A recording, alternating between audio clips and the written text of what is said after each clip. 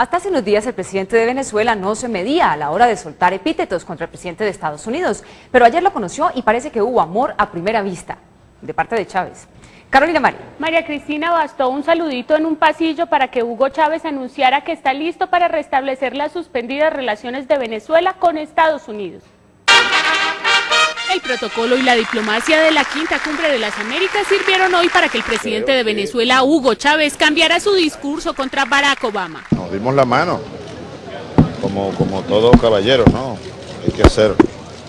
Y era, era previsible que así ocurriera. Y para poder dejar atrás los constantes insultos que había hecho en contra del presidente de Estados Unidos. Demuestre un poquito de inteligencia, presidente Obama. Chávez decidió atribuirle a Obama la iniciativa para el acercamiento. Agradezco el gesto de haberse acercado directamente a, a darnos la mano. Gesto que unas horas más tarde Chávez devolvió, regalándole a Obama el libro Las Venas Abiertas de América Latina de Eduardo Galeano.